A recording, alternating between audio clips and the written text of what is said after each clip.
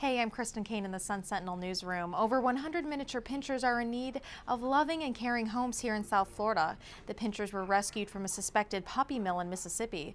The Humane Society of the U.S. has been investigating the kennel after the owner was found shot to death inside his van last week. The group's national chapter reached out to Broward Shelter because of its size and experience. If you're interested in adopting one of the puppies, just head to our website, sunsentinel.com.